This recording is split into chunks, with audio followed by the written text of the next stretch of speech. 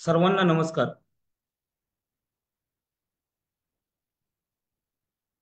सर्व शेतकरी बंधू भगिनींना नमस्कार. महात्मा फुले कृषी विद्यापीठ राहुरी अंतर्गत विभागीय विस्तार केंद्र कृषी महाविद्यालय पुणे व कृषी विभाग महाराष्ट्र शासन यांच्या संयुक्त विद्यमाने आयोजित विचारा तुम्ही सांगतो आम्ही या कार्यक्रमामध्ये. मी डॉक्टर विकास भालेराव आपले सर्वांचे सहर्ष स्वागत करतो.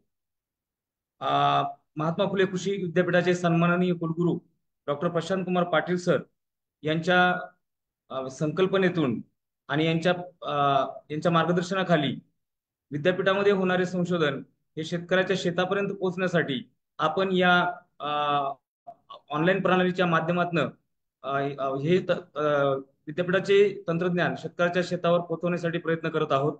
त्यासाठी आपण हा या सदर कार्यक्रमाचे आयोजन केलेले आहे. तर या कार्यक्रमामध्ये अ, शेतकरी बंधूंना प्रत्यक्ष शेतावरती या चालू खरीप दोन हजार चोवीस हंगामामध्ये जी पिकं आपण घेतो त्याच्यावर येणाऱ्या ज्या समस्या आहेत त्या समस्याचे निर निरसन करण्यासाठी कृषी विद्यापीठाचे शास्त्रज्ञ आपल्यासोबत आज आहेत.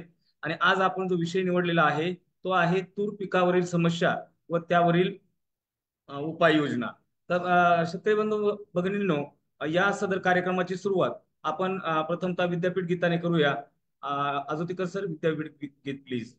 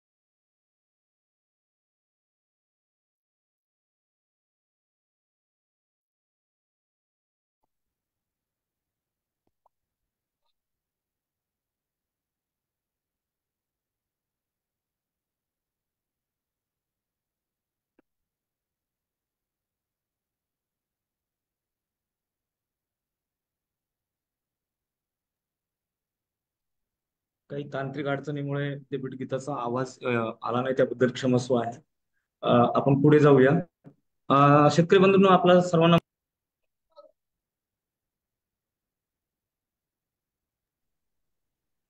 शेतकरी बंधूंनो आपल्या सर्वांना माहितच आहे की तूर हे महाराष्ट्रातील एक महत्त्वाचे खरीप पीक आहे.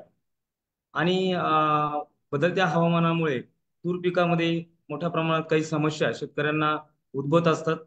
तर तूर हे जे महत्वाचं कडधान्य पीक आहे याच्यामध्ये प्रथिनांचा मोठ्या प्रमाणात समावेश असतो. आणि भारतीय लोक हे शाकाहारी असल्यामुळं शाकाहारी लोकांना प्रथिनांचा एकमेव जो काही प्रथिने जी मिळतात ही फक्त ह्या कडधान्यामधूनच मिळत असतात. त्यामुळं मानवी आहारामध्ये याचं एक अनन्यसाधारण असं महत्त्व आहे. तूर तूर महाराष्ट्रामध्ये किती महत्त्वाचा आहे? तर महाराष्ट्रामध्ये जवळजवळ तेरा लाख हेक्टर क्षेत्रावर तूर पिकाची लागवड केली जाते आणि त्यातून हे जे क्षेत्र आहे ते एकूण भारतातील क्षेत्राच्या सत्तावीस टक्के आहे. म्हणजे कर्नाटकानंतर महाराष्ट्राचा दुसरा क्रमांक लागतो तुरीच्या लागवडीमध्ये. त्याचप्रमाणे महाराष्ट्रामध्ये जवळजवळ बारा पॉईंट एक लाख टन इतकं उत्पन्न आपण तुरीचं घेतो. आणि देशातील एकूण उत्पादनाच्या जवळजवळ सतरा टक्के उत्पादन हे एकट्या महाराष्ट्रातनं घेतलं जातं. तर अशा आर्थिकदृष्ट्या महत्त्वाच्या शेतकऱ्यांसाठी शाश्वत उत्पन्नाचा स्रोत असलेल्या या खरीप पिकाच्या संदर्भामध्ये आपण मागच्या आठवड्यामध्ये शेतकऱ्यांना विविध समाज माध्यमांवरती प्रश्न विचारले होते आणि त्यातनं जे प्रश्न आलेले आहेत ते आपल्याकडे आहेत. तसेच आपल्याबरोबर बरेच शेतकरी पण आता झूम प्रणालीवरती आपल्यासोबत आहेत. तर ते प्रत्यक्षही शास्त्रज्ञांना प्रश्न विचारू शकतात. तर सदर कार्यक्रमासाठी आज आपण निमंत्रित केला आहे. सर्वप्रथम मी स्वागत करतो. Doctor V. T. Jadhav Vijay Jadhav sir. हे विजय जाधव सर हे सहयोगी प्राध्यापक आहेत महात्मा फुले कृषी विद्यापीठाअंतर्गत कृषी महाविद्यालय पुणे येथे कृषी विद्याशाखेचे त्याचप्रमाणे दुसरे जे आपले सहभाग सहभाग घेतलेले शास्त्रज्ञ आहेत ते म्हणजे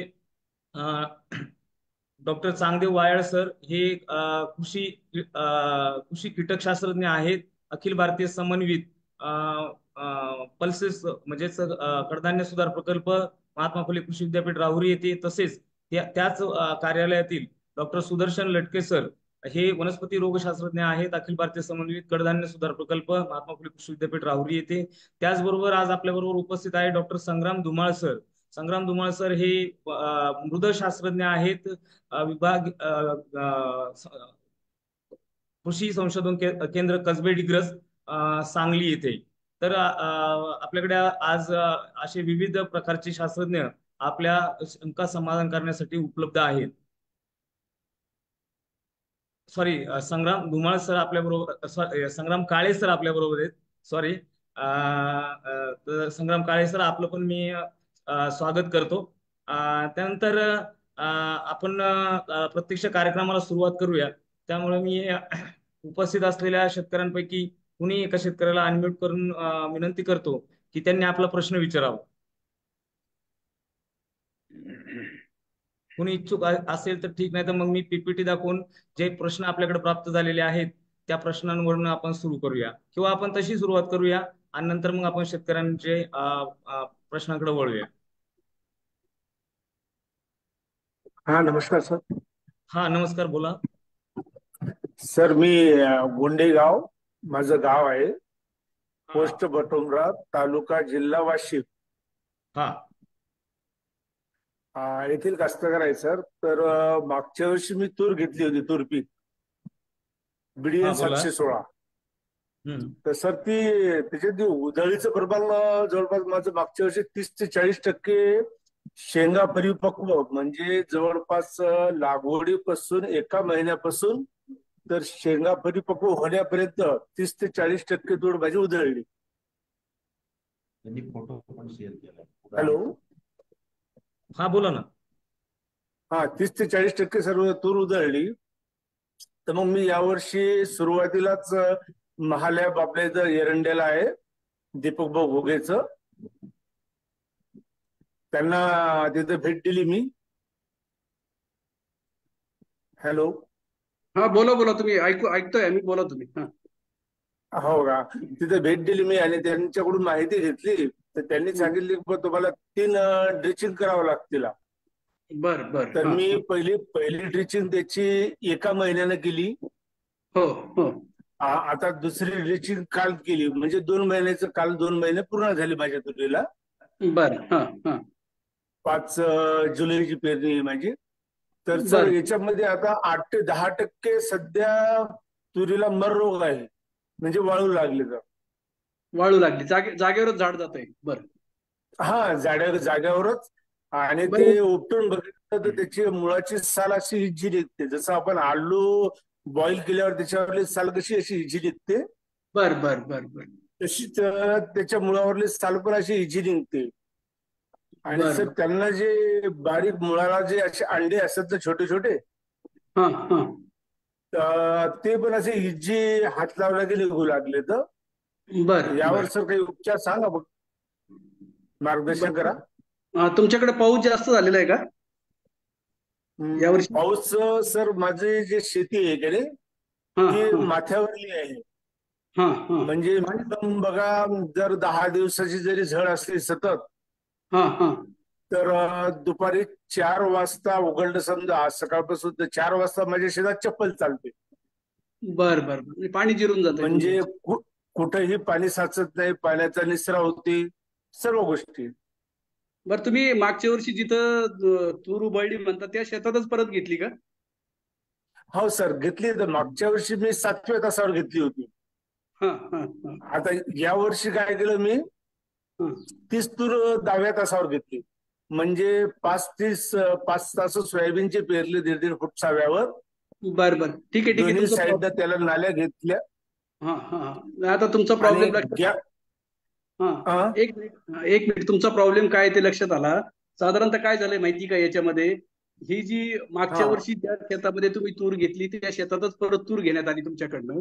आणि हे जे. एक महिन्याने जे त्यांनी ड्रेंचिंग सांगितलं होतं ना तुम्हाला हं? हो हो ते योग्य आहे परंतु त्या अगोदर काय करायला पाहिजे जेव्हा आपली पीक पेरायच्या अगोदर शेवटची तुमची हे होती कुळवणी होती तेव्हा तुम्ही शेणखत. शेणखतामध्ये ट्रायकोडर्मा मिक्स करायचा आणि तो ट्रायकोडर्मा जो आहे तो शेणखतामध्ये मिक्स करून पसरून द्यायचा शेतामध्ये आणि मग त्याच्यानंतर पेरणीकडे जायला पाहिजे काय होतं माहिती का एकदा ही हो. ही जी बुरशी असते ही जमिनीमध्ये सुप्तावस्थेत राहते आणि सुप्तावस्थेत. राहिलं जेव्हा तिला अनुकूल हवामान मिळेल तेव्हा ती वाढायला सुरुवात होते. त्यामुळं ट्रेंचिंग एक महिन्याच्या नंतर करण्यापेक्षा पेरणीच्या अगोदरच तुम्ही ट्रायकोडर्मा जर शेतामध्ये चांगल्या कुजलेल्या शेणखतात मिक्स करून जर मिसळून जमिनीत मिक्स करून दिला तर मग हा प्रॉब्लेम तुम्हाला थोडाफार कमी कमी करता येईल.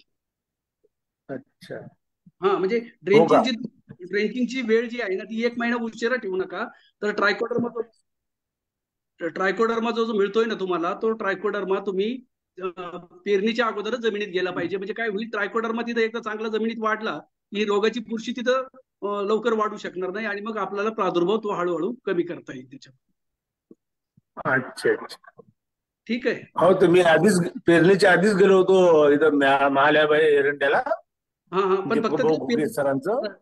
ट्रायकोडर्मा बाजारात कोणी कुठे कुठेही मिळेल तुम्हाला. ट्रायकोडर्मा तो शेणखतात मिक्स करून जमिनीत मिसळून द्यायचा जमीन पेरणीच्या अगोदर. नंतर नंतर उपाय करायला गेलं की काय होतं की ही रोगाची पुरशी झपाट्याने वाढते आणि मग ट्रायकोडर्माला वाढायला वेळ वेळ मिळत नाही म्हणावं असं आपल्याला.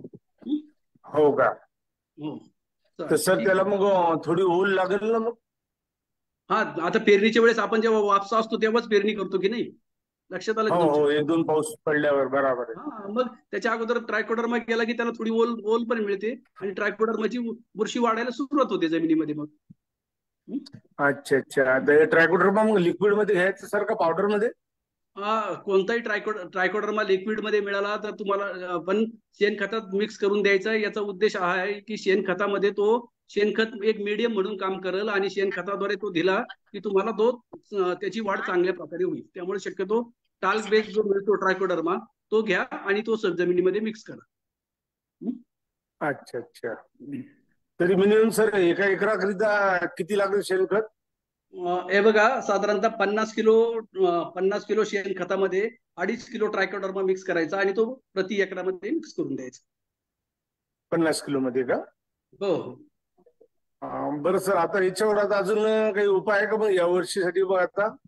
नाही आता ह्या वर्षी जर तुम्हाला जी जी- झाडं दिसत आहेत ना ती जी जी झाडं पूर्णपणे गेलेली आहेत ती काय लवकर रिकवर होणार नाही परंतु जर समजा एखाद्या. झाडाला तुम्ही फिरताना असं लक्षात आलं की लागण व्हायला सुरुवात झाली तर तुम्ही तिथं हो. एखाद्या औषधाची ड्रिंचिंग करू शकता. म्हणजे साप सारखं औषध आहे किंवा दुसरं जे आपलं म्हणजे रिडोमिल सारखं औषध आहे याची तुम्ही ड्रिंचिंग तिथे करू शकता.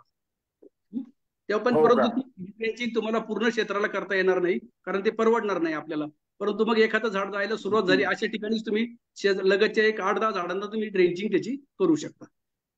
नाही सर मी आता पूर्ण शेतात ते द- म्हणजे दोन्ही साईडचं म्हणजे तु- तुरीच्या राईट अँड लेफ्ट अशा दोन्ही साईडनं पण ड्रेचिंग केली. बरं बरं ठीक आहे. यांची लॅबून किट आणली होती. हा हा हा. निमार्क ट्रायकोडर्मा आणि ती काळी पावडर. हम्म. तर याची पंपाद्वारे मी बुडात त्याची पूर्ण दोन वेळा ड्रेचिंग केली. तर ते सर फरक सांगत फरक होते "बुवा, पडत- तीन वेळा करा.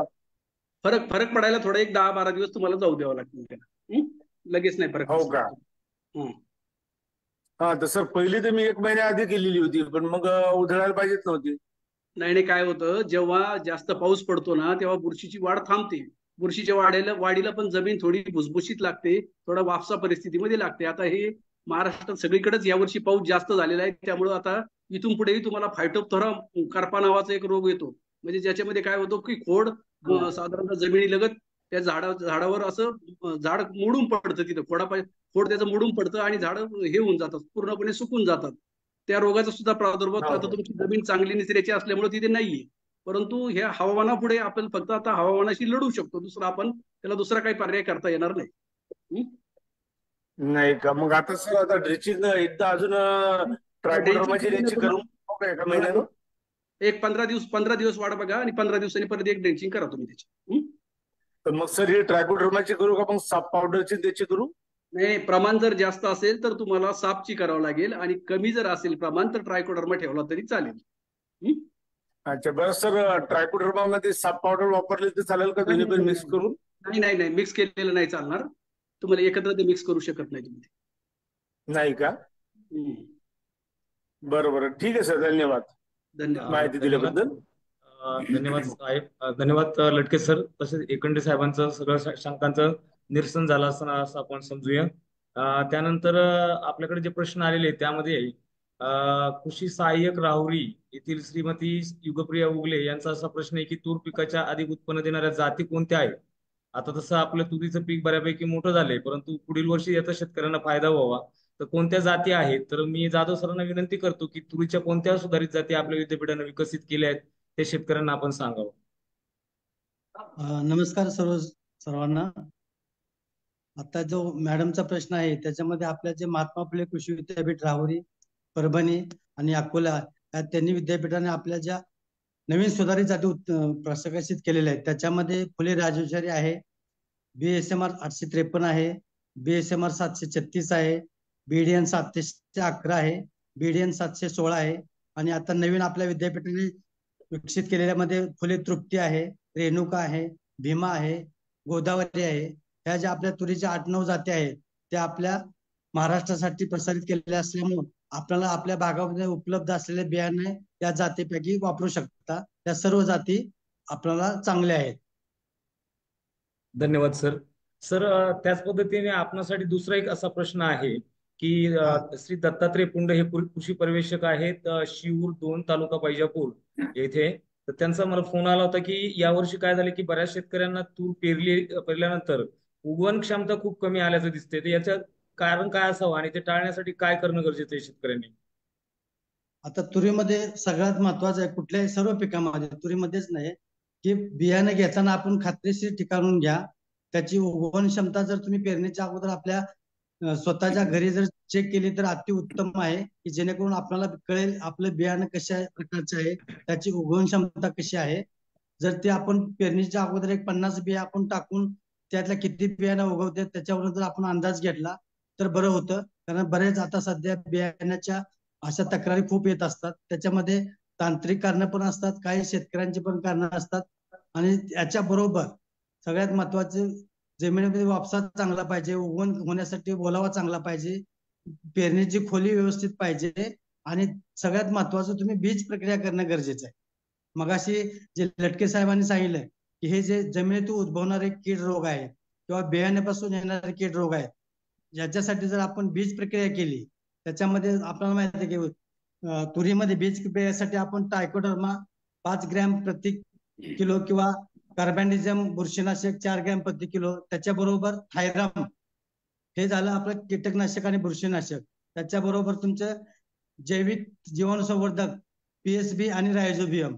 दोनशे पन्नास ग्रॅम प्रति दहा किलो बियाणास या प्रमाणात घेऊन पेरणीच्या अगोदर बीज प्रक्रिया करणं हे खूप गरजेचं आहे. त्यामुळे हे जे प्रश्न आहेत उगवण क्षमता असू द्या सुरुवातीची वाढ असू द्या किडी रोगांचा प्रादुर्भाव असा या सर्वांवरती त्याचा चांगला परिणाम होतो.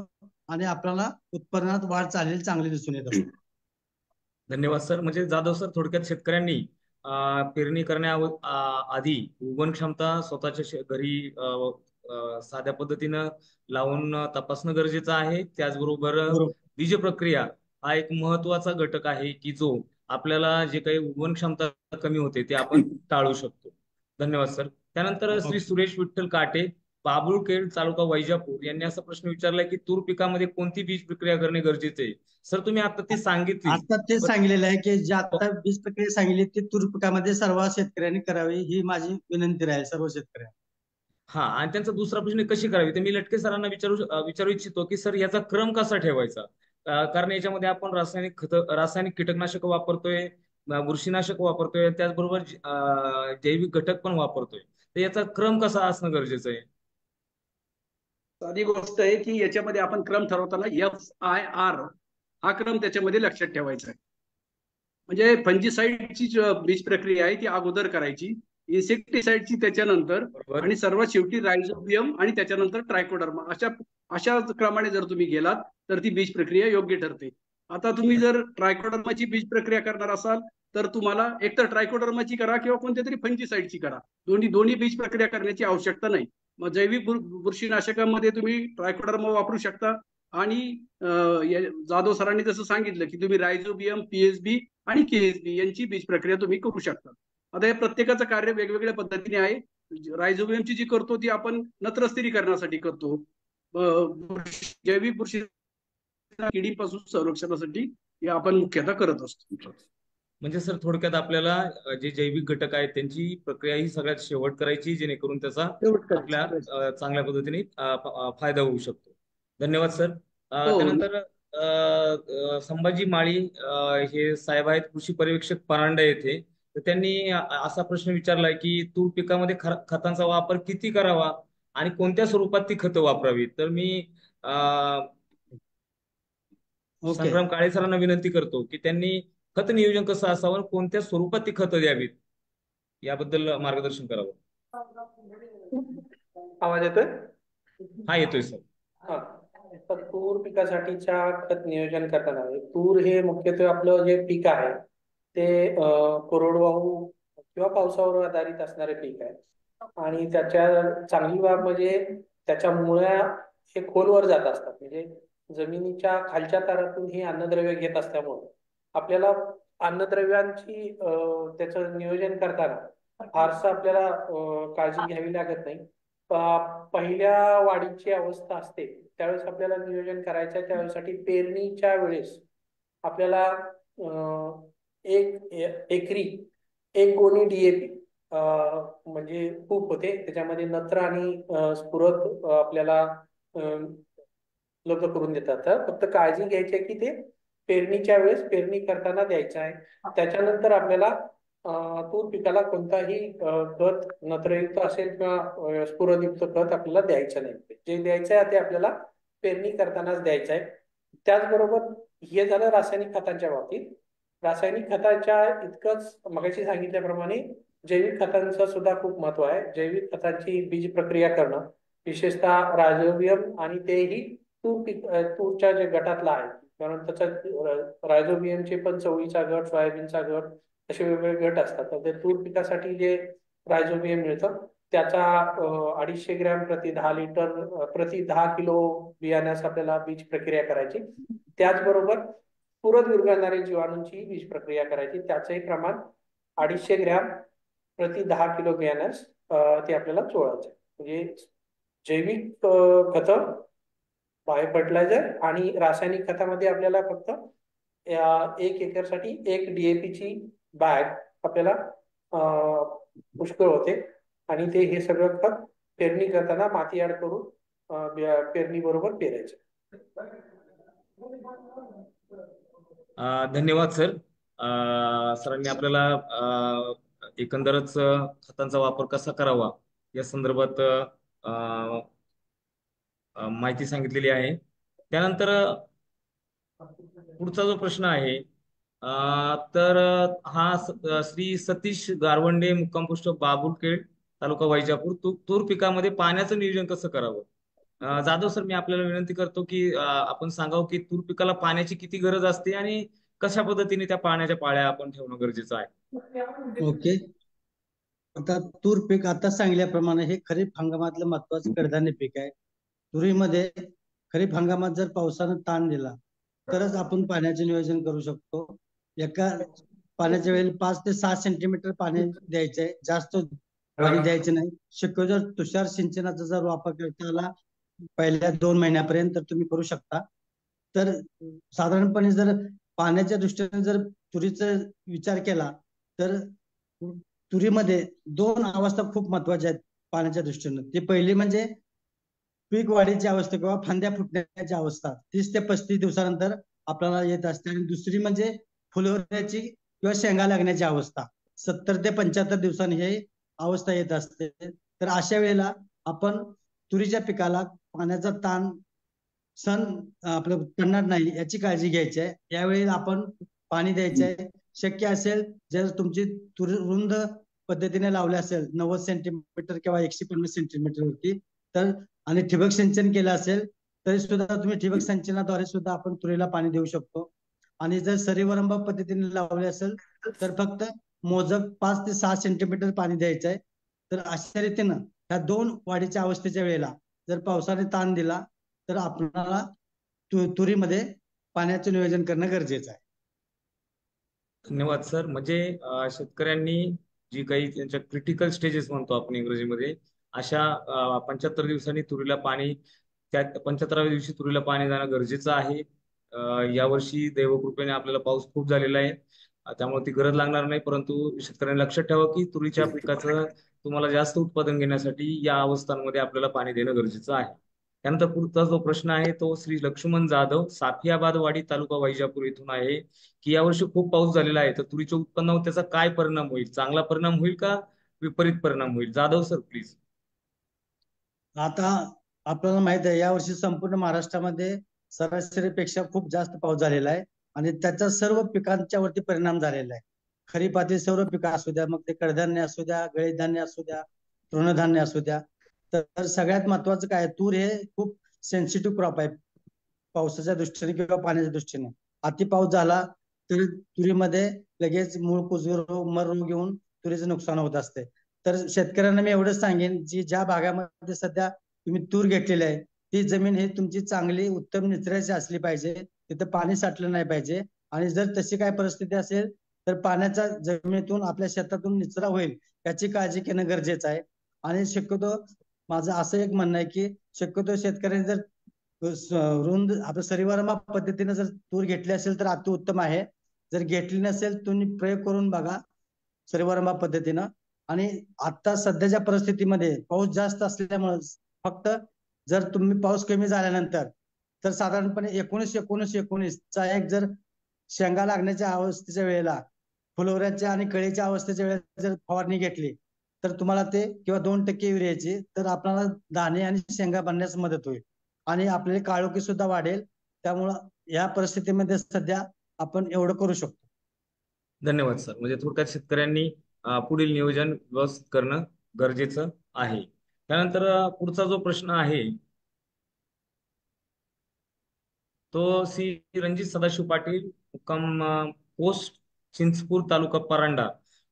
यांचा असा प्रश्न आहे की तूर पिकामध्ये संजीवकाचा वापर कसा करता येईल? सर करतात का? म्हणजे जाधव सर आपला काय अनुभव आहे? तूर पिकामध्ये आपण काम केलेलं आहे संशोधनाचं. तर ह्या तूर पिकामध्ये आपण संजीवक वापरू शकतो का? हो तुरीमध्ये आपण संजीवक वापर जी ए थ्री आता मग सांगितल्याप्रमाणे जी थ्रीचा आपण संजीवक आहे ते आपण फुले लागण्याच्या वेळेला आणि कळ्याच्या अवस्थेला फवारणी करू शकतो. त्याचा आपण प्रयोग घेतलेला आहे आपल्या राहुरी विद्यापीठामध्ये जे थ्रीचा वापर आपण जेब्रेलिक ऍसिडचा करू शकतो. आणि तो त्याचं प्रमाण किती असावं? दोन पीपीएफ दोन पीपीएफ तर तो आपण कळीच्या अवस्थेच्या वेळेला फुलवऱ्याच्या वेळेला आपण फवारणी करू शकतो त्याची. धन्यवाद सर. हे जे पाटील शेतकरी आहेत यांचा दुसरा प्रश्न आहे की तूर पिकाला सूक्ष्म अन्नद्रव्य देणं गरजेचं आहे का? आणि असतील तर ती कोणती सूक्ष्म अन्नद्रव्य आहेत आणि ती कशासाठी द्यावी? संग्राम काळे सर कृपया. हा तर तूर पिकामध्ये तूर पिकाचं एक वैशिष्ट्य म्हणजे तूर पीक हे अं, जमिनीला सुद्धा सहनशील असल्यामुळं शेतकरी जिथं चुनकडीचं प्रमाण जास्त आहे अशा ठिकाणी सुद्धा तूर पीक घेतलं जातं. ज्या जमिनीमध्ये चुनकडीचं प्रमाण जास्त आहे किंवा ज्या हलक्या जमिनी आता तूर पीक हे आपण शिफारशीत करत नाही हलक्या जमिनीवर परंतु काही ठिकाणी मध्यम ते हलक्या जमिनी चुनखडीयुक्त जमिनी अशा ठिकाणी आपल्याला सूक्ष्म अन्नद्रव्यांची गरज तूर पिकासाठी गरज भासते. अशा वेळेस आपण जर पेरणीच्या वेळेस पाच किलो झिंक सल्फेट आणि पाच किलो फेरस सल्फेट एकरी जर देता आलं तर आपण ते द्यावं. अन्यथा आपल्याला मगाशी जाधव साहेबांनी वाढीच्या अवस्था सांगितलेल्या आहेत त्या वाढीच्या अवस्था म्हणजे आपल्याला फांद्या येण्याच्या वेळेस आणि फुले येण्याच्या वेळेस आपण मायक्रोन्युट्रिएंट फुले मायक्रोन्युट्रिएंट ग्रेड दोन त्याची पाच मिली प्रति लिटर पाणी असं एकरी दोनशे लिटर द्रावणाच्या आपण फवारणी केली तर त्याचा आपल्याला अधिक चांगला फायदा होतो आणि उत्पादनामध्ये आपल्याला दहा ते बारा टक्के वाढ दिसून येते. धन्यवाद सर. म्हणजे थोडक्यात अधिक उत्पादनासाठी शेतकऱ्यांनी फुले मायक्रोन्युट्रिएंट ग्रेड टू चा वापर करणं गरजेचं आहे असं संग्राम धुमाळ सरांनी आपल्याला सांगितलेलं आहे. आणि हे सदरचं जे फुले मायक्रोन्युट्रिएंट ग्रेड टू आहे हे महात्मा फुले कृषी विद्यापीठाच्या मध्यवर्ती परिसरामध्ये department of soil science and agriculture chemistry येथे आपल्याला उपलब्ध आहे विक्रीस उपलब्ध आहे. त्यानंतर पुढचा जो प्रश्न आहे व जीवन महल्ले महल्ले सर म्हणून आहेत. उकळी पेन जिल्हा वाशिम यांचा. यांचा प्रश्न असा आहे की आता हा तर याच्यावर झालेच जे खूप पाऊस झालाय जे सर्वांना माहिती आहे. तर या जास्त पावसामुळे त्यांचं असं म्हणणं आहे की पाणी गुंडाळण्या गुंडाळणा गुंडाळणारी जी आळी आहे तिचा प्रादुर्भाव यावर्षी लवकर झालाय. तर या किडीचा त्या त्याचप्रमाणे मोठ्या प्रमाणात या का आळी काय करतात की जसा शेंडा येतो त्या शेंड्याबरोबर आला आलेला शेंडा लगेच खातात. त्यामुळे वाढ थांबते. तर याचं नियंत्रण कसं करता येईल आणि नियंत्रण कसं करता येईल? वायर सर कृपया.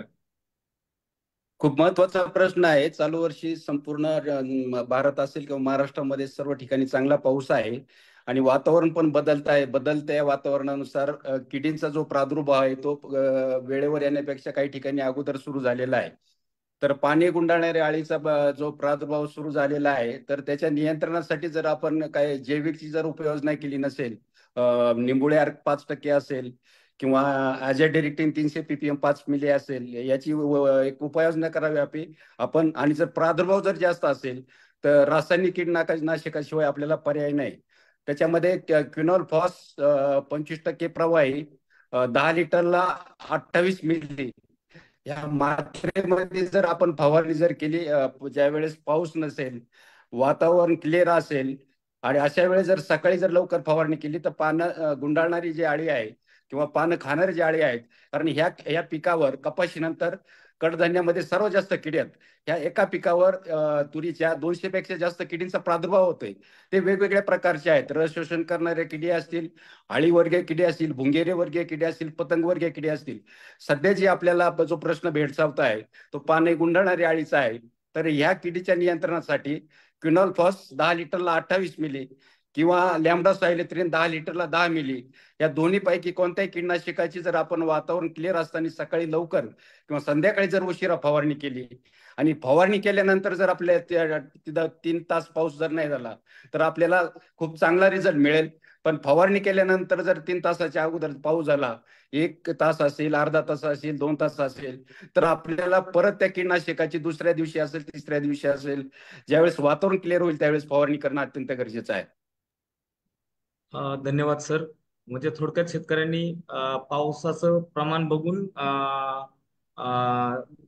कोरड्या हवामानामध्ये फवारणी करण्याची शिफारस चांगली वायर सरांनी केलेली आहे. धन्यवाद सर. आणि त्यासाठी मी शेतकऱ्यांना सांगू इच्छि- इच्छितो की महात्मा फुले कृषी विद्यापीठ राहुरीच्या ऍग्रिकल्चर इंजिनिअरिंग डिपार्टमेंटने एक ऍप तयार केलेले आहे मोबाईल बेस की ज्याच्यावर आपल्याला तुमच्या तुम्ही जिथे राहतात त्या एरियामध्ये फवारणी करण्याचा योग्य कालावधी कोणता आहे? ते आपल्याला मिळतं. आपण ते अँड्रॉइड ऍप डाउनलोड करून इन्स्टॉल करून त्याचा वापर करून त्या माध्यमातून आपण आपल्या औषधांची बचत करू शकतो. कारण सरांनी जसं सांगितलं पाऊस आला तर औषधं धुवून जातात आणि त्याचा काहीही उपयोग होत नाही. आता याच्याबरोबर अजूनही काही प्रश्न आहेतच. परंतु आपण प्रथम प्राधान्यानं आपल्या बरोबर जे मीटिंगमध्ये जॉईन आहेत श्री मुकुंद आडसूळ यांचा एक प्रश्न आहे चॅट बॉक्समध्ये. तुरीचे पाणी पिवळी पडत आहेत. आणि हे कर्जत तालुक्यातले आहेत, अहमदनगर जिल्ह्यातले. सर आपण जर जॉईन असाल तर अनम्यूट करून कृपया आपला प्रश्न तज्ञांना डायरेक्ट विचारा. आडसूळ साहेब?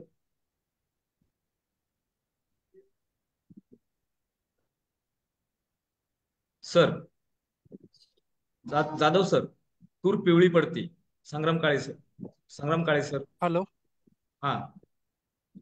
हा सर मी त्याच्यामध्ये पॅरेगॉट मारलेलं. आहे म्हणजे तणनाशक म्हणून गवत आलतं.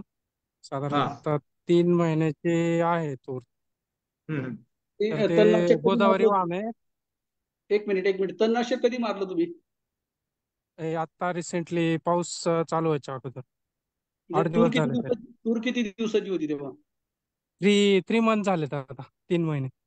नाही नाही नाही. बरं का तुरीमध्ये आपण अ, तणनाशक उभ्या पिकात मारायची शिफारस फक्त उगवडीनंतर साधारणतः वीस दिवसापर्यंत आहे.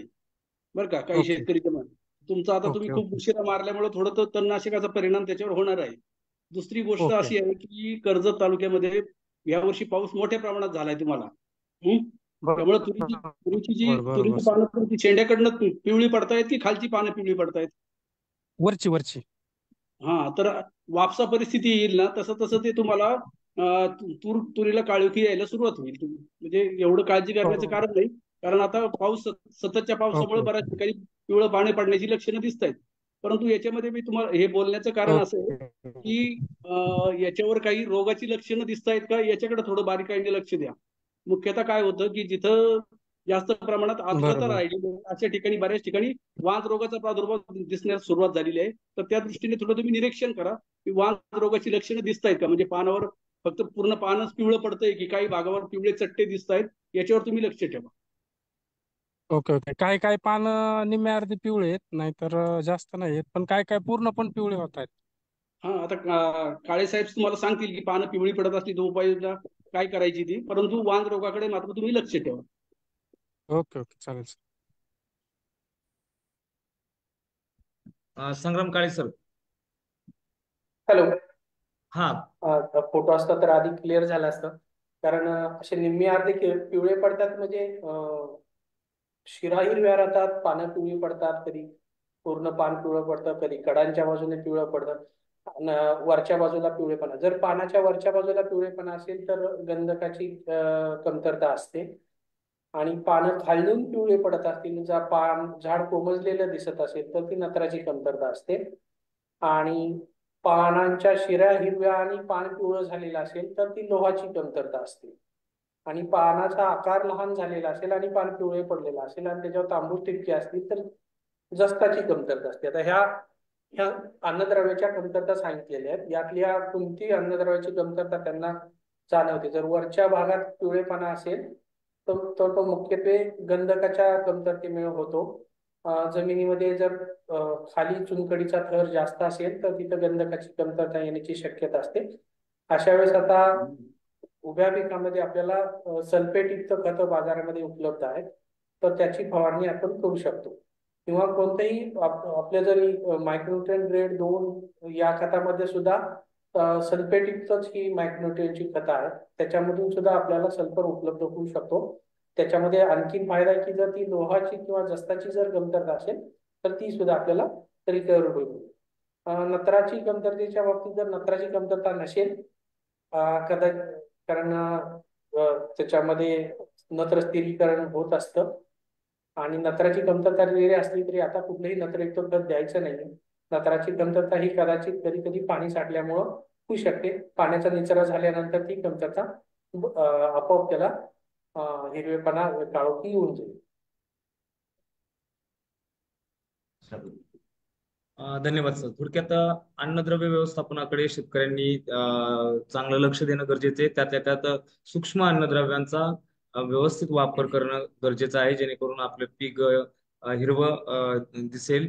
त्याचप्रमाणे आपल्याकडे आता मीटिंगमध्ये उपस्थित असलेले जे जगदीश कोळी साहेब आहेत त्यांचा एक प्रश्न आहे. तर त्यांना विनंती आहे त्यांनी अनम्यूट करून आपला प्रश्न स्वतः विचारावा. चॅट बॉक्समध्ये त्यांचा प्रश्न आहे. त्यांनी स्वतः विचारलं तर बरं राहील. हा हॅलो सर मी वांगीवरनं बोलतो इकडं. हा, अं, बोला तूर सर. मोठ्या प्र- मोठ्या प्रमाणात सोलापूर जिल्हा. तर तूर मोठ्या प्रमाणात घेतलं जातं तर इथं एक असं ट्रेंड आहे की छाटणी करायची आहे तुरीची. तर कितव्या दिवशी करायला पाहिजे? एक जण पंचवीस पन्नास पंच्याहत्तराव्या दिवशी म्हणतात. काही वेळेला पन्नास आणि सत्तराव्या दिवशी सांगितलं जातं. काही वेळेला पन्नासाव्या दिवशी घ्यायला घ्यायला पाहिजे असं म्हणतात. व्हरायटीनुसार बागायत जिरायती आणि किती आणि कितव्या दिवशी छाटणी केलं पाहिजे शेंडे खोडलं पाहिजे? आणि त्याचा उपयोग काय होतो. म्हणजे छाटणी कधी करायची?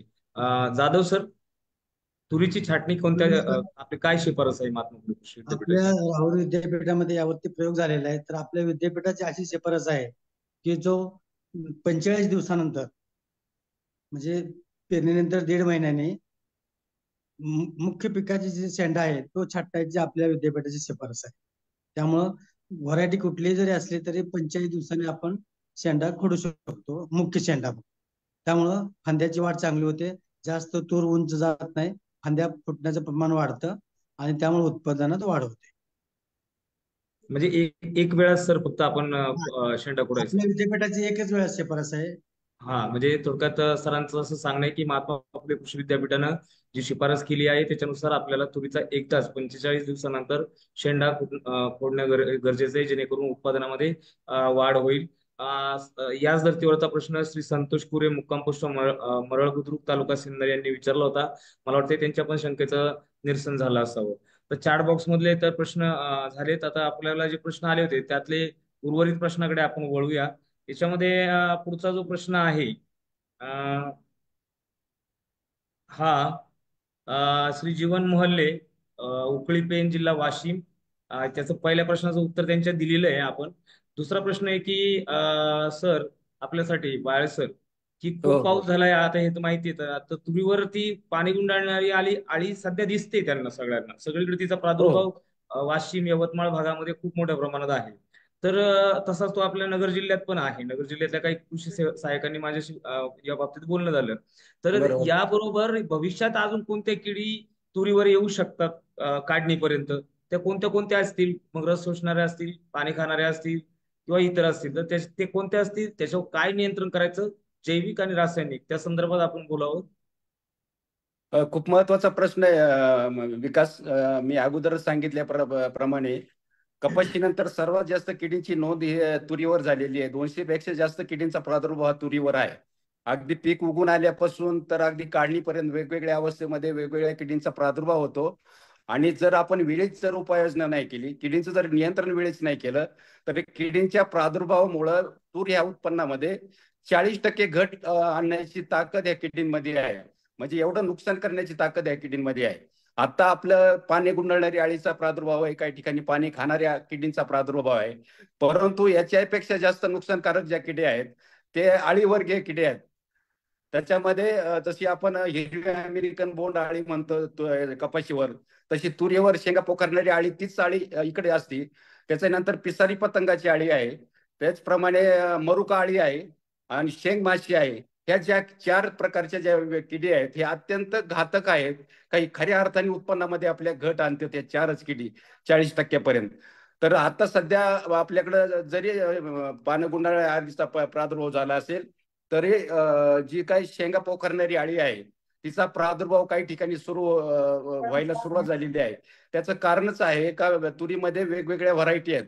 कमी कालावधीमध्ये येणाऱ्या जशा ऐंशी पण सत्याऐंशी सारख्या व्हरायटी आहेत ते आता कळी अवस्थेमध्ये आहेत काही ठिकाणी फुलोऱ्या अवस्थेमध्ये आहेत. त्याचप्रमाणे ज्या वेळेस कळी आणि फुलोऱ्याची सुरुवात होती आणि कमी कालावधीची व्हरायटी असतात त्या कमी कालावधीच्या व्हरायटी विशेषतः सप्टेंबर आणि ऑक्टोबर या महिन्यामध्ये मरुका आळी म्हणजे पाना फुलांची जाळी करणाऱ्या किडींचा प्रादुर्भाव मोठ्या प्रमाणात असतो. या किडीचं वैशिष्ट्य असं आहे का जे पान असेल कोळा देठ असेल कोळ्या फुलं असतील शेंगा असतील याचा ते गुच्छ तयार करते आणि गुच्छामध्ये ती उपजीविका करीत असते. उपजीविका करत असताना तिथं जिथं तिथं तिथं तिचा प्रादुर्भाव झालेला आहे. जिथं जिथं तिने असं आळं तयार केलेलं आहे गुच्छ तयार केलेला आहे तिथं खाली भुसा आपल्याला पडलेला दिसतो तिची विष्ठा पडलेली दिसते. तर ह्या की अळीचा प्रादुर्भाव आहे हा कमी कालावधीत येणारे जे वाहन त्यांच्यावर मोठ्या प्रमाणात असतो.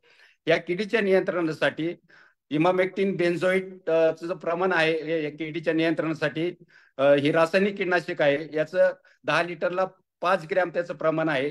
दुसरं क्युनॉल फॉस आहे. दहा लिटरला अठ्ठावीस मिली हे रासायनिक कीटनाशक आहेत. आणि जर जैविकचा जर विचार केला आपण तर पाच टक्के निंबोळे अर्काची सुरुवात झाल्यानंतर पाच टक्के निंबोळे अर्काची आपण फवारणी घ्यावी. त्याचप्रमाणे जर निंबोळी पावडर आपल्याकडे उपलब्ध नसेल तर मार्केटमध्ये निमार्क नावाचे काही वेगवेगळे कॉन्सन्ट्रेशनचे आपल्याला कीटनाशक मिळतात जैविक कीटनाशक. त्याच्यामध्ये तीनशे पीपीएमचे असतात पंधराशे पीपीएमचे असतात तीन हजार पीपीएमचे असतात आणि दहा हजार पीपीएमचे पण असतात. जर आपण तीनशे पीपीएमचं असेल किंवा पंधराशे पीपीएमचं जर अजेडिरिक्सनचं निमार्कचं औषध घेतलं तर एका लिटरला त्याचं प्रमाण आहे पाच मिली. त्या मात्रेमध्ये जर फवारणी केली तर आपल्याला नुसते मरुका चाळी नाही तर बाकीच्या किडींच्या प्रादुर्भावापासून सुद्धा आपल्याला सुटका होण्याचा चांगला उपयोग होतो. आणि हे कमीत कमी खर्चामध्ये चांगला रिझल्ट आहे. पण प्रादुर्भाव झाल्यानंतर ज्यावेळेस प्रादुर्भाव जास्त होतो त्यावेळेस रासायनिक शिवाय पर्याय नाही. ज्यावेळेस आता पाऊस उघडेल पाऊस उघडल्यानंतर किसारी पतंगाची जी आळी आहे हिचा प्रादुर्भाव सुरू होईल. पिसारी पतंगाची आळी असेल ज्यावेळेस कळी लागेल त्यावेळेस शेंगा पोखरणाऱ्याची आळीचा प्रादुर्भाव होईल आणि सगळ्यात उशिरा येणारी शेंग माशी आहे. शेंग माशी सुद्धा खूप मोठ्या प्रमाणात नुकसान करते. आळी जे किडे आहेत ती मरुक आळी असेल शेंगा पोखरणारी आळी असेल किंवा पिसारी पतंगाची आळी असेल या तिन्ही किडीच्या नियंत्रणासाठी औषध सारखेच आहेत. ते जैविक असू किंवा रासायनिक असू या जैविक औषधामध्ये निमार्क आहे पाच टक्क्याची आपण फवारणी घ्यावी. किंवा ॲजेटिरिक्टिन असेल त्याचं प्रमाण आहे तीनशे पीपीएम जर असेल किंवा पंधराशे पीपीएम जर असेल तर एका लिटरला पाच मिली प्रति लिटर मात्र म्हणजे फवारणी करावी. किंवा बीटी जी जैविक पावडर आहे मार्केटमध्ये मिळते. बीटीची पावडर बीटी कुस्तकी नावाचं जे हे आहे त्याचं जर आपण मार्केटमधून जर आणलं तर तिचं प्रमाण एका लिटरला दोन ग्रॅम आहे. हे जैविक कीटनाशकात याची फवारणी करावी. आणि जर किडींचा प्रादुर्भाव जर जास्त झाला तर रासायनिकमध्ये क्विनॉल फॉस आहे इमाबेक्टिन बेन्झोइट आहे त्याच प्रमाणे लॅमडा सायलिथ्रिन आहे. लॅमडा सायलिथ्रिन म्हणजे मार्केटमध्ये त्याचं कराट या नावाने औषध मिळतं. दहा लिटरला दहा मिली त्याचं प्रमाण आहे. आणि सगळ्यात जास्त पॉवरफुल जे औषध आहे किडींचा ज्यावेळेस प्रादुर्भाव वाढतो आणि किडी किडीची आकार ज्यावेळेस मोठा होतो शेवटच्या अवस्थेमध्ये. कारण किडीची अवस्था जरी वेगवेगळ्या असले अंडी आळी कोश आणि पतंग परंतु आपल्या पिकाचं जे नुकसान करतात ते खऱ्या अर्थाने आळी अवस्थाच करते. आणि आळी अवस्थेमध्ये सुद्धा चार अवस्था आहेत. पहिली अवस्था दुसरी अवस्था तिसरी अवस्था आणि चौथी शेवटची अवस्था. पहिल्या आणि दुसऱ्या अवस्थेमध्ये जैविक कीटनाशकांनी नियंत्रण मिळतं. पण जर आळी तिसऱ्या आणि चौथ्या अवस्थेमध्ये जर गेली ती जर मोठी झाली आकाराने तर तिला नियंत्रणासाठी रासायनिक कीटनाशकांची फवारणी करावी लागते.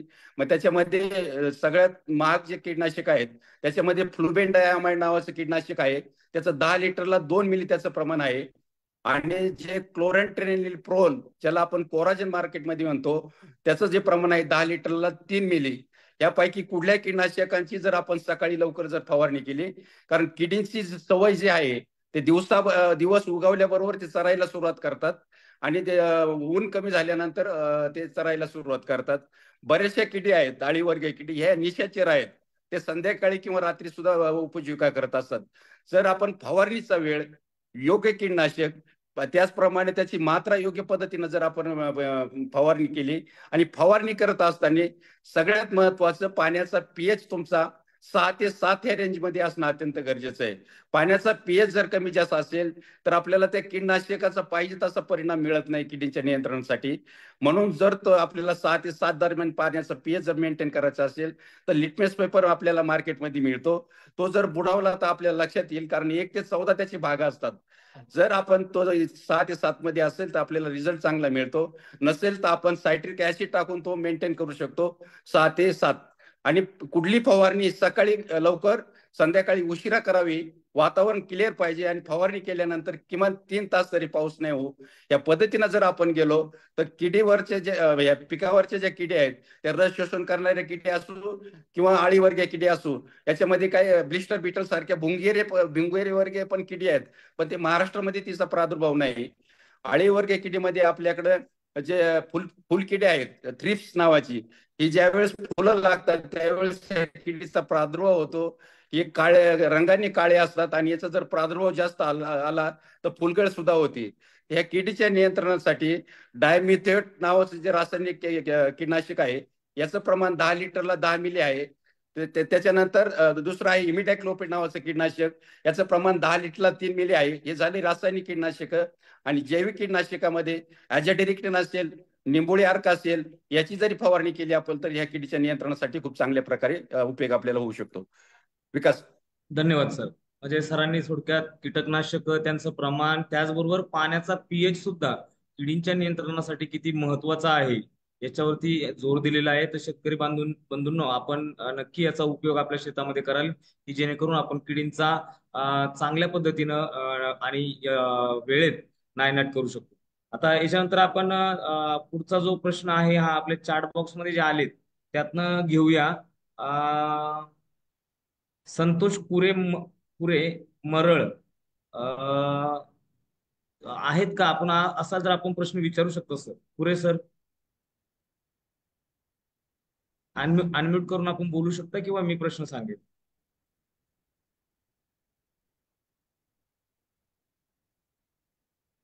तर त्यांचा प्रश्न असा आहे की तुरीला त्यांनी ड्रीप केलंय आणि त्यातून त्यांना लिक्विड खतं द्यायची. तर कोणती कोणती लिक्विड खतं ते देऊ शकतात असं विचारतायत आणि कळी लागण्याच्या अवस्थेमध्ये कोणत्या खतं द्यावीत असा त्यांचा प्रश्न आहे. संग्राम काळे सर कृपया. हॅलो. जर त्यांनी ड्रिपद्वारे खतांचं नियोजन करायचं आहे आता किती दिवसाची टूर आहे याच्यावर अवलंबून आहे. अं, पहिल्या पंधरा दिवसापर्यंत आपण नत्रयुक्त खतं देऊ शकतो. पहिल्या एक महिन्यापर्यंत वाढीच्या अवस्थेमध्ये. त्याच्यानंतर आपण झिरो बावन्न चौतीस आणि बारा एकसष्ट झिरो म्हणजे स्फुरदयुक्त खतं ही आपल्याला देता येत देता येतात. आणि शेवटच्या दाणी भरणीच्या अवस्थेमध्ये विशेषतः पोटॅशियम सल्फेट म्हणजे झिरो झिरो पन्नास आणि झिरो बावन्न चौतीस या दोन खतांचा आपण वापर करता येऊ शकतो. म्हणजे वाढीच्या काळामध्ये आपल्याला नत्रयुक्त खतं द्यायची आहेत. त्याच्यामध्ये युरियाही देऊ शकतो. एकोणीस एकोणीस ही औषध करतो. आणि तीस ते फुले फुले येण्याचा काळ फिफ्टी म्हणजे फुले आणि शेंगा लागण्याच्या काळापर्यंत आपण झिरो बावन्न चौतीस आणि बारा एकसष्ट झिरो या खतांचा वापर करू शकतो ड्रिपच्या माध्यमातून. आणि ज्या शेंगा बनण्याच्या अवस्थेमध्ये आपल्याला झिरो झिरो पन्नास म्हणजे पोटॅशियम सल्फेट या खताचा वापर करता येऊ शकतो. या व्यतिरिक्त आपल्याला चिलेटेड स्वरूपातले मायक्रोन्युट्रियन्स जर जमिनीमध्ये झिंक सल्फेट किंवा फेरस सल्फेट याचाही वा- वापर करू शकतो. त्याचप्रमाणे लिक्विड लिक्विड जे आपलं फुले मायक्रोन्युट्रियन ग्रेड दोन जे आहे याचाही उपयोग आपल्याला आळवणीद्वारे करता येतो. फक्त आळवणीद्वारे जर ज्यावेळेस आपण मायक्रोन्युट्रियनचा वापर करत असतो त्यावेळेस आपल्याला स्फुरदयुक्त खतांच्या बरोबर करायचा नाही. धन्यवाद. धन्यवाद सर.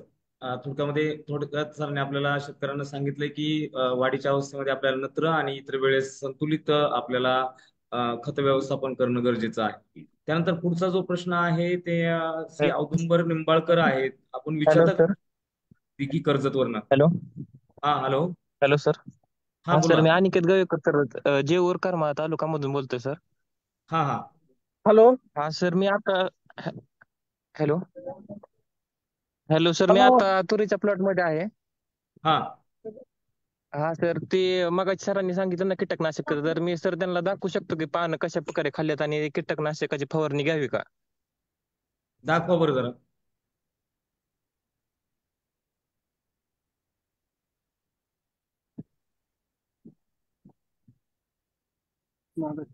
अशा प्रकारे झालेले सर पान हा तर घाबरायचं काही कारण नाही. खूप साऱ्या किडींचं कॉम्बिनेशन आहे ते.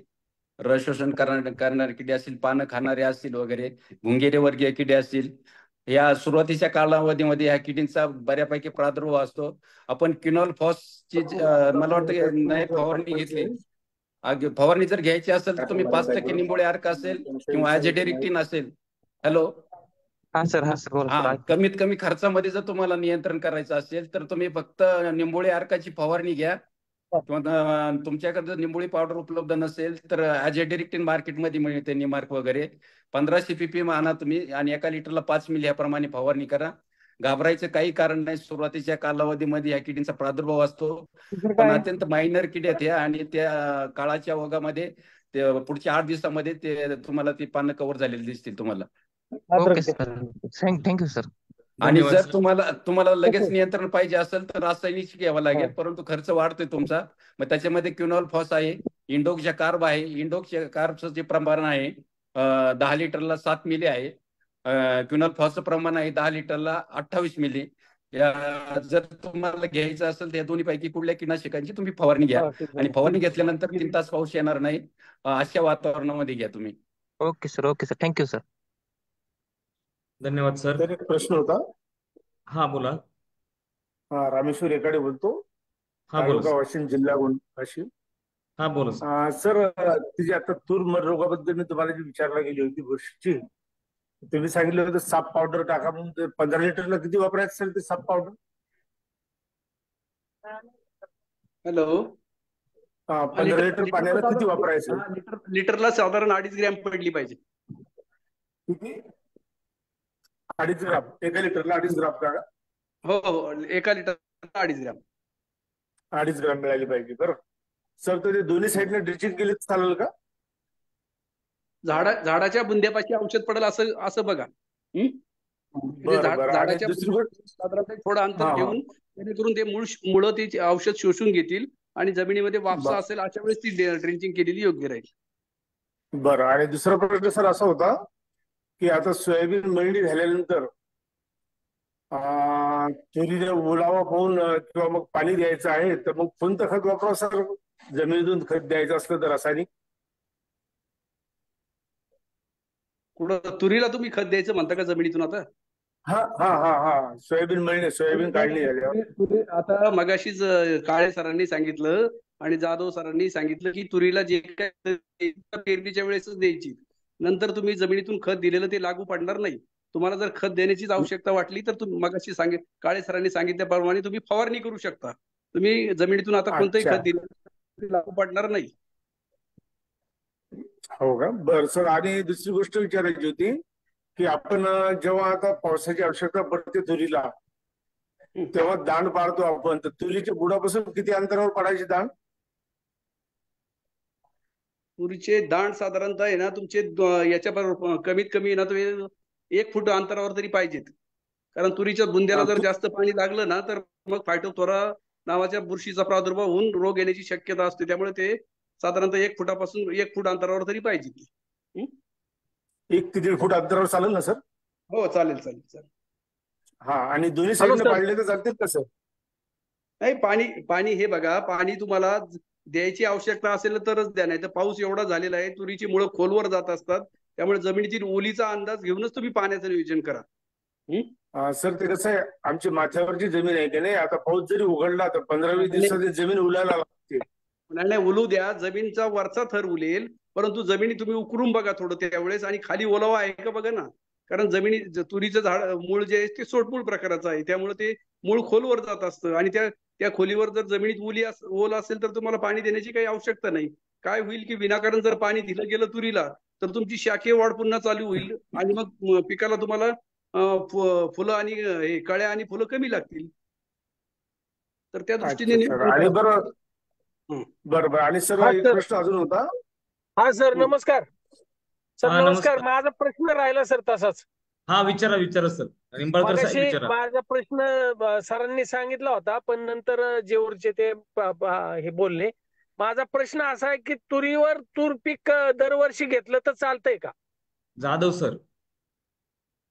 तूर हे आता मगाशी वाळे साहेब आपले लटके साहेबांनी सांगितले तुरीवरती तूर घेऊ नये त्याच्यामध्ये जमिनीतून उद्भवणाऱ्या रोगांचा आणि किडींचा प्रादुर्भाव वाढतो. त्यामुळे तुरी मागे तूर घेऊ नये तुरीनंतर तुम्हाला क्रॉप रोटेशन पिकाची फेरपालट करणं गरजेचं आहे. सलग पीक घेऊ नये तुरीवरती कारण हो, त्याच्यामध्ये रोग आणि किडींचा प्रादुर्भाव वाढतो. वाण वाणचं प्रमाण वाढतं. त्यामुळं ते योग्य नाही. सर. तुरीनंतर. कोणतं पीक पुढच्या सीझनला घेतलं तर जमिनीची सुपीकता टिकून राहील? साधारणपणे आपण जनरली काय सांगतो? कडधान्य आणि तृणधान्य. याचं रोटेशन राहावं की जेणेकरून सर्व जमिनीतील सर्व थरातील अन्नद्रव्यांचा उपयोग होईल जमिनीची सुपीकता टिकून राहील त्यामुळे कडधान्य गळीत धान्य किंवा कडधान्य तृणधान्य अशा प्रकारचं क्रॉप रोटेशन असावं. धन्यवाद सर म्हणजे शेतकऱ्यांनी क्रॉप रोटेशनचा करावा. त्यानंतर पुढचा एक प्रश्न आहे श्री संतोष म्हणून आहेत. ते म्हणतात की तुरीच्या पिकात पहिलं पीक शेंगा तोडणी नंतर पुन्हा त्याच झाडाची छाटणी करून शेंगा. थोडक्यात त्यांना असं म्हणायचं की तुरीचा आपल्याला खोडवा ठेवता येईल का जाधव सर? तुरीचा खोडवा शक्यतो ठेवू नये. कारण काय? की तुरीचा खोडवा ठेवला तर त्याच्यामध्ये मगाशी सांगल्याप्रमाणे वाढचं प्रमाण वाढत असतंय आणि उत्पादन हे तसं येत नाही. विनाकारण तुमची जमीन जास्त वेळ तुरी खाली राहते आणि त्याचे परिणाम पुढच्या पिकावर तो असते पण झालेले आहेत की वांजा हा जो रोग आहे तो खोडवा पिकात जास्त राहतो आणि त्याचे प्रमाण परत पुढच्या वर्षी पण वाढत असते. आणि अशा जमिनीमध्ये किंवा शेतामध्ये परत पुढील कीड आणि रोगांचा प्रभाव सुद्धा वाढत असते. म्हणून शक्यतो तुरीचा खोडवा ठेवू नये. म्हणजे थोडक्यात किडीच्या आणि रोगाच्या नियंत्रणापासून जर आपल्याला बचाव करायचा असेल तर तुरीचा खोडवा शेतकऱ्यांनी घेऊन घेऊ नये अशी शिफारस शास्त्रज्ञ करत आहेत किंवा कृषी विद्यापीठ करत आहे त्यानंतर काही अजून प्रश्न आपले बाकी आहेत ते घेऊया आपण. याच्यामध्ये पुढचा जो प्रश्न मला आला होता तो लटके सरांसाठी होता की खूप पाऊस आलेला आहे तर तुरीवरती कोणते रोग येऊ शकतात? आणि त्याचं नियंत्रण कसं करायचं? तुरीवरती साधारणतः जास्त पाऊस झाला आणि पाणी साठून जर राहिलं तर अशा ठिकाणी फायटो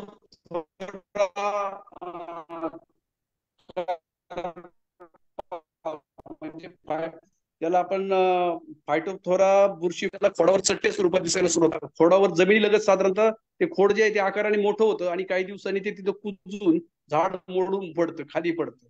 हा एक रोग झाला आणि याचा याचा उपाययोजना जर तुम्ही म्हणताल तर याच्यामध्ये सुरुवातीला सुरुवातीच्या अवस्थेत सुरुवातीपासूनच आपण ट्रायकोडर्माची बीज प्रक्रिया करणं त्यानंतर ट्रायकोडर्माची आळवणी करणं ही ही उपाययोजना आपल्याला करणं गरजेचं ठरतं. आणि रोगाचं प्रमाण जर जास्तच वाढलं पिकामध्ये तर अशा वेळेस तुम्हाला मेटालाक्सिल घट असलेल्या औषधाची आळवणी करणं हे गरजेचं ठरतं. तर पिकामध्ये पाणी साठून राहणार नाही जास्त दिवस ही काळजी सर्वात महत्वाची घेतली गेली पाहिजे. त्याचबरोबर ते जास्त पाऊस राहिला आर्द्रता हवामानामध्ये जास्त टिकून राहिली तर अशा वेळेस वांज रोगाचा प्रादुर्भाव आपल्याला दिसून येतो. तर वांज रोगामध्ये नाव जसं नावाप्रमाणेच या रोगामध्ये काय होतं की सुरुवातीला पानावर आपल्याला पिवळ्या रंगाची चट्टे दिसायला सुरुवात होतात. पानं हिरवट पिवळ्या रंगाचे होतात. पानावर काही ठिकाणी गोलाकार चट्टे दिसून येतात. आणि अशा झाडांना असे झाड हे उंचीने खुरट राहतं. म्हणजे झाडाची वाढ खुरते. आणि अशा झाडांना फळ व कळ्या लागत नाही. आणि म्हणजे मध्ये लक्षणीय घट येऊ शकते. आता हा रोग जो आहे हा साधारणतः जिथे उच्च आर्द्रता आहे म्हणजे हवामानात जास्त ढगाळ ढगाळ हवामान जास्त काळ टिकून राहिलं जास्त रिमझिम पाऊस आहे अशा वेळेस आपल्याला वांज रोगाचा प्रादुर्भाव दिसून येतो. आता वाघ वांज रोगाची लक्षणं दिसतात. समजा एक एक झाड आपल्या पूर्ण शेतामध्ये जर प्रादुर्भाव झालेला असेल तर असं झाड उपटून ते नष्ट करावं. झाड झाड उपटून नष्ट करायचं म्हणजे काय करायचं? की झाड बांधावर फेकायचं नाही. कारण ह्या रोगाचा प्रसार जो आहे हा कोळी कीटकामार्फत होत असतो. आणि हा कोळी कीटक हा आकाराने एक अतिशय सूक्ष्म असतो. तो आपल्या साध्या डोळ्यांना दिसत नाही. ही कोळी जे कीटक आहेत हे पानाच्या खालच्या बाजूस असतात. आणि ह्या कोळी कीटकामार्फत या वांज रोगाचा प्रादुर्भाव होतो. त्यामुळे जेव्हा प्रादुर्भावग्रस्त एखादंच झाड दिसेल त्याचं उपटून ते नष्ट करावं. त्याचबरोबर उच्च आर्द्रता जर हवामान आणि हवामान ढगाळ जर सतत टिकून राहिलं तर अशा वेळेस एक संरक्षणात्मक संरक्षणात्मक आपण फवारणी घेतली पाहिजे ती म्हणजे सल्फर या नाशकाची कारण सल्फरमध्ये आपल्याला कोळीनाशकाचे गुणधर्म आहेत आणि सल्फर अडीच ग्रॅम प्रति पाणी या प्रमाणात तुम्ही जर फवारणी घेतली तर पुढे येणारा वांज रोग आपण बऱ्यापैकी टाळू शकतो. आणि एकदा समजा आपल्याला लक्षणं दिसायला शेतामध्ये सुरू झाली कोळी निवारणासाठी मग आपण योग्य अशा कोळीनाशकाची त्याच्यामध्ये आबामेक्टिन असेल किंवा फेनपायरॉक्झिमेट म्हणून जे कोळीनाशक मिळतं किंवा हेक्झी थायरो थायोक्झोमॉक्स म्हणून जे कोळीनाशक मिळतं यापैकी एखाद्या कोळीनाशकाची आपल्याला फवारणी घेणं हे अतिशय गरजेचं ठरतं. जर ह्या वांज रोगाचा प्रादुर्भाव मोठ्या प्रमाणात झालं तर आपलं अगदी शंभर टक्क्यापर्यंत नुकसान होऊ शकतं. त्यामुळे ह्या वांज रोगासाठी मी सांगितल्याप्रमाणे संरक्षणात्मक फवारणी. त्याचबरोबर या कोळी रोगाच्या कोळी कीटकाच्या नियंत्रणासाठी फवारणी करणं हे अतिशय गरजेचं ठरतं. विकास. धन्यवाद सर. थोडक्यात थाटोक्तोरा सड आणि वांज हे रोग हे जे महत्त्वाचे तुरीतील रोग आहेत की जे वांज सारखा रोग हा तुरीचं शंभर टक्के उत्पादन कमी करू शकतो म्हणजे काही आपल्याला उत्पादनच मिळत नाही. तर याच्यापासून आपण वेळेच वांज रोग होऊ नये म्हणून कोळी कीटकाची बंदोबस्त करणं गरजेचं आहे. त्यानंतर पुढचा जो प्रश्न आहे तो श्री सुनील विखे म्हणून आहेत तालुका जिल्हा परभणी येथून. त्यांचं इथे पण तेच प्रश्न आहे पूर्ण महाराष्ट्रात तोच प्रॉब्लेम आहे की पाऊस जास्त झालाय. आणि त्यांचं म्हणणं असं आहे की तूर पिकात मर रोगचा असर होईल का? म्हणजे त्यांच्याकडे अजून झालेलं नाही.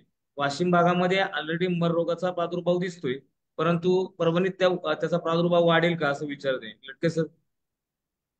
नाही आता प्रत्येक शेताच्या परिस्थितीनुसार या मर रोगाचं मर रोग म्हणजे शेतकऱ्यांमध्ये झाड मरायला लागलं की आपण मर म्हणतो. परंतु जेव्हा आपण झाड उपटायला जातो आणि जर झाड सहजासहजी उपटलं जात नसेल म्हणजे थोडक्यात आपल्याला जर त्याला बदलावा लागत असेल तर तो मात्र मग फिजेरियम नावाच्या बुरशीमुळे झालेला मर रोग असतो. आणि दुसऱ्या प्रकारचा मर रोग म्हणजे झाडांची मर कशामुळे होते? ते फायटोप्थोरा ब्लाईटमुळे किंवा फायटोप्थोरा करपा याच्यामुळे होते.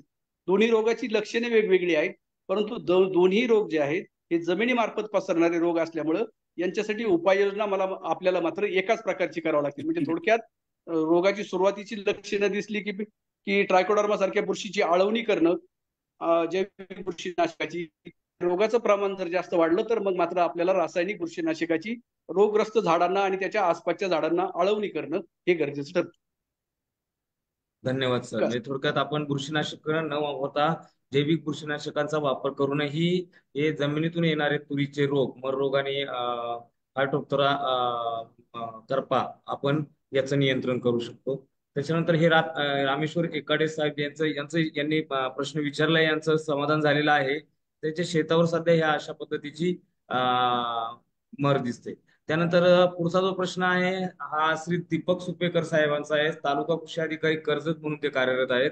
तर तुरीवर येणाऱ्या वांज रोगाचे नियंत्रण कसे करावे?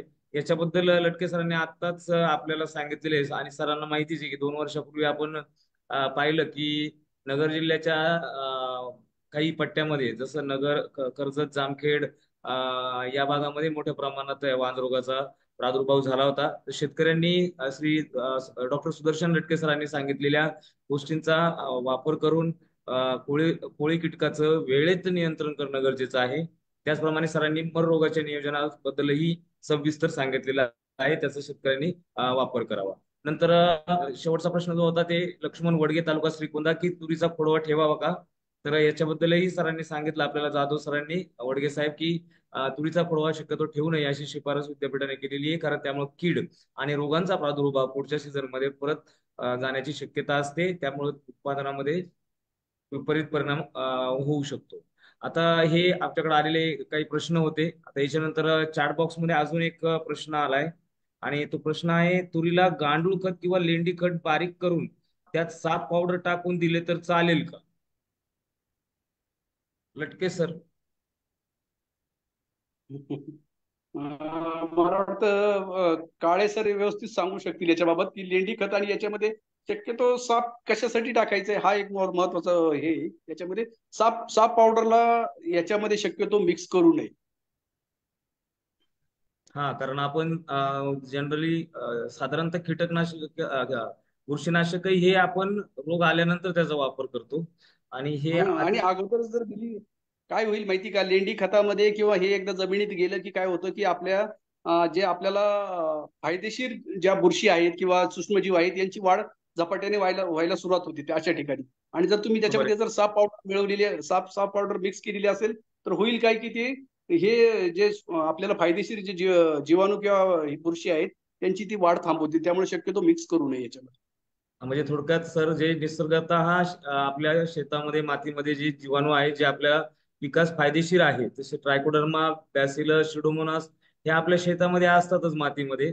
आणि आपण जर ही खतं टाकली तर ती झपाट्यानं वाढतात त्यांना अन्न मिळतं. आणि जर आपण त्याच्यामध्ये जर त्यांना मारणारी जर बुरशीनाशक जर टाकली तर त्याचा तुमच्या म्हणण्याप्रमाणे मोठ्या प्रमाणात त्याचा परिणाम होऊन तिथे त्याची वाढ होणार नाही त्याचा विपरीत परिणाम होऊ शकतो. याच्यामध्ये तुम्हाला त्यांना मिक्स करायचं असेल तर ट्रायकोडर्मा सारखं जे जैविक बुरशीनाशक आहे हो. ते तुम्ही मिक्स करून त्याच्यामध्ये टाकू शकता. थोडक्यात शास्त्रज्ञांचं असं मन आहे मत आहे श्री संतोष म्हणून आहे त्यांनी विचारलं होता. तर संतोष सर आपण त्याच्यामध्ये साप पावडर मिसळण्याऐवजी ट्रायकोडर्मा बुरशी जी आहे त्याचा वापर करावा. आणि त्याचप्रमाणे आपण शिडोमोनाचा पण वापर करू शकता किंवा बॅसेलचा पण वापर करू शकता. अजून कोणाला काही प्रश्न विचारायचे असतील उपस्थितांपैकी तर आपण अनम्यूट करून शास्त्रज्ञांना विचारू शकता.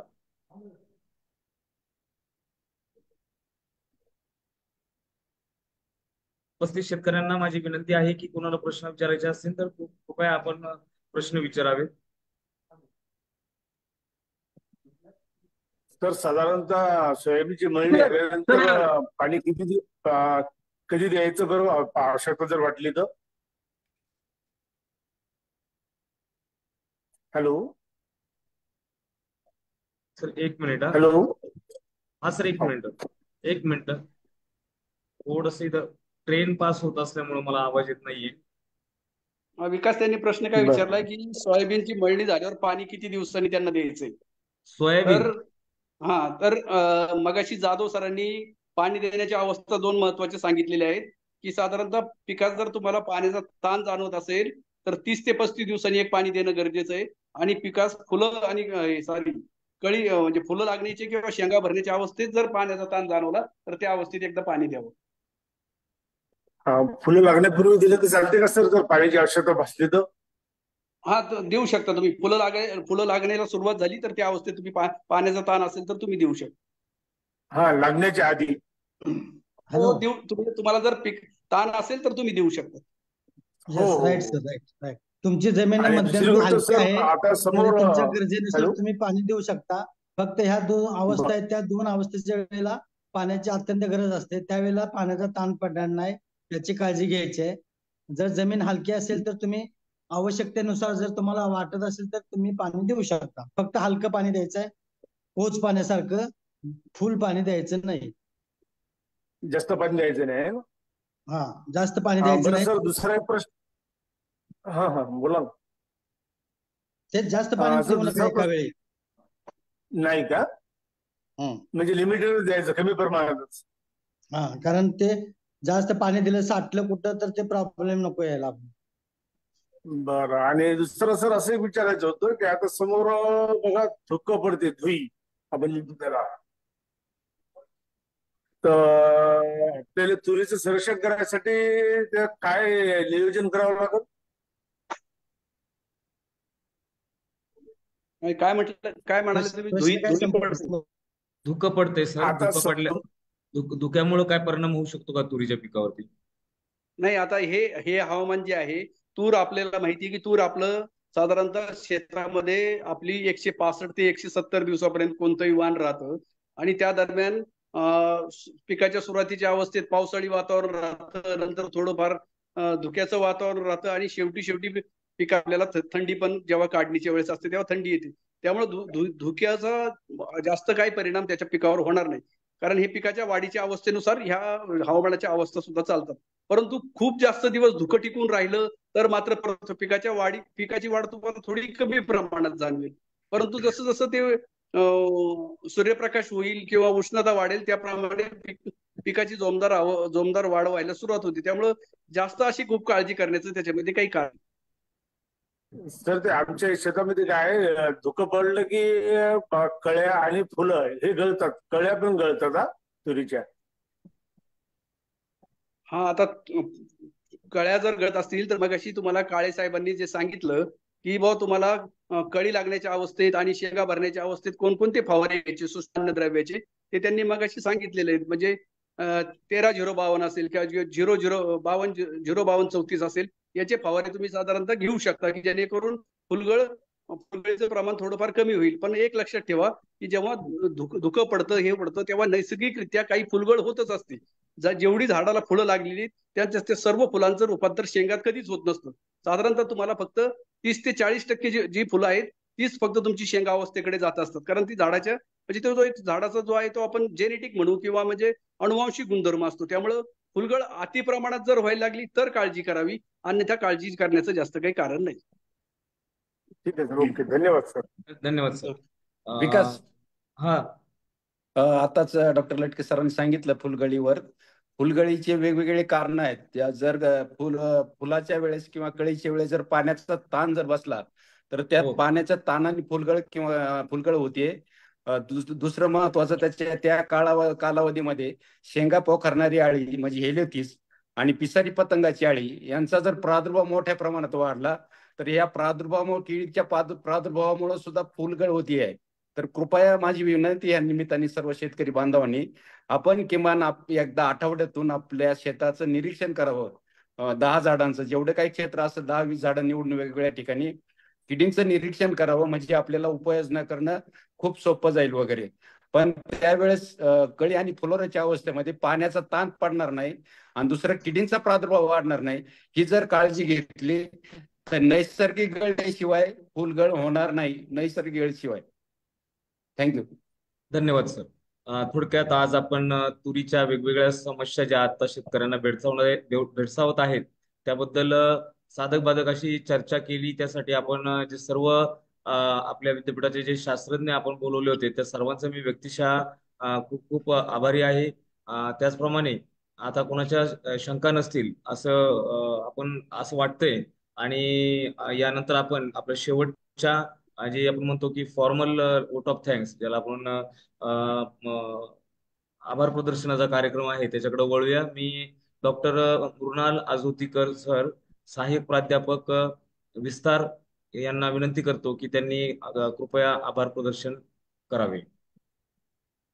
धन्यवाद बालेराव सर साधारण तीन वाजल्यापासून अतिशय रंगतदार झालेला हा आजचा तूर पिकातील समस्या व त्यावरील उपाय याकरता जे चर्चा तज्ज्ञ शास्त्रज्ञांच्या मार्फत शेतकऱ्यांचा शेतकऱ्यांचे प्रश्न सोडवण्यासाठी आयोजित केलेला आजचा हा जो कार्यक्रम आहे अतिशय चांगल्या पद्धतीने शेतकरी बंधू भगिनी सहभागी झाले अनेकांनी प्रश्न विचारले आणि त्यामार्फत या कार्यक्रमाच्या माध्यमातून त्यांच्या शंकांचं निरसन झालं असेल अशी मी अपेक्षा करतो.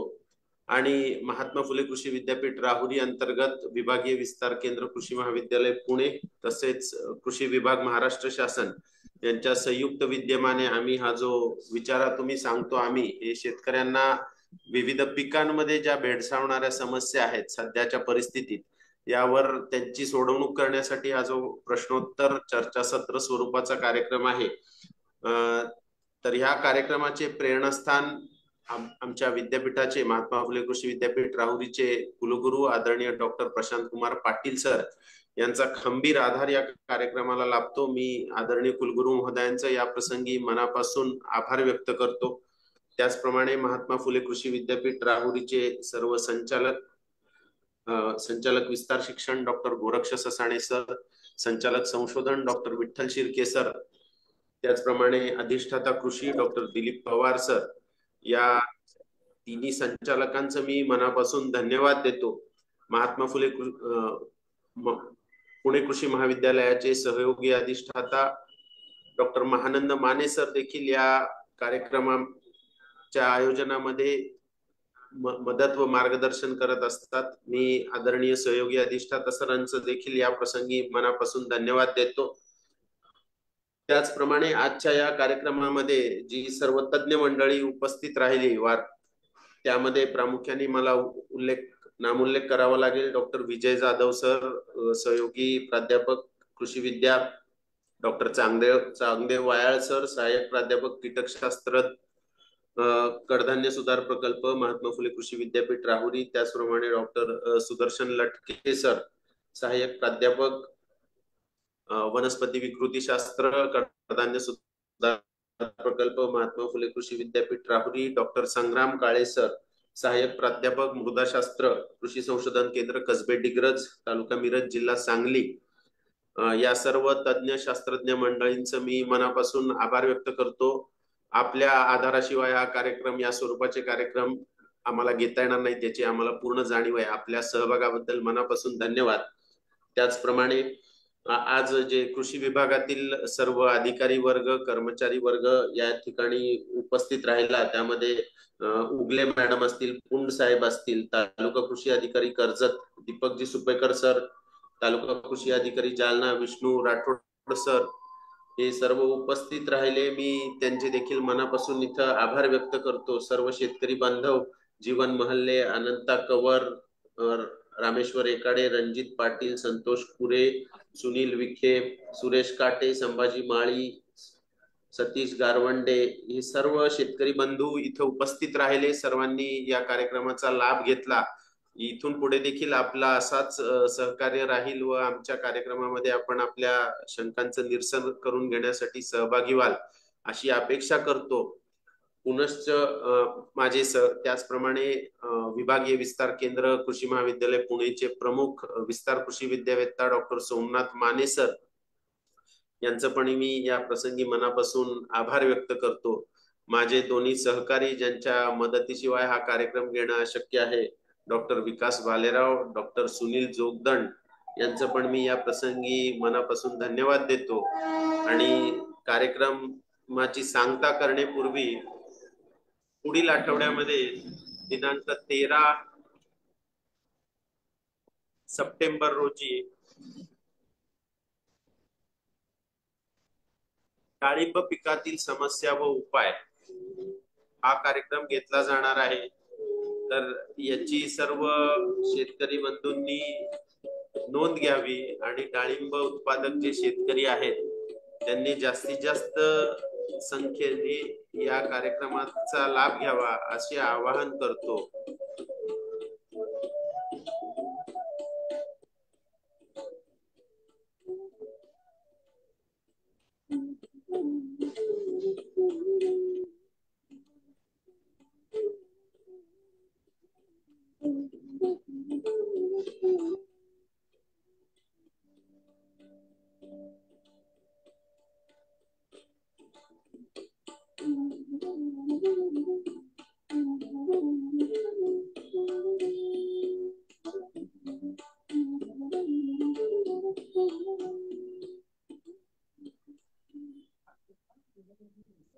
सर्वांचे खूप खूप धन्यवाद. सर्वांचे धन्यवाद. डॉक्टर विकास आणि डॉक्टर मुरनाल तुमचे पण खूप खूप धन्यवाद आम्हाला सहभागी करून घेतल्याबद्दल. खूप खूप आभारी आहे. सर फार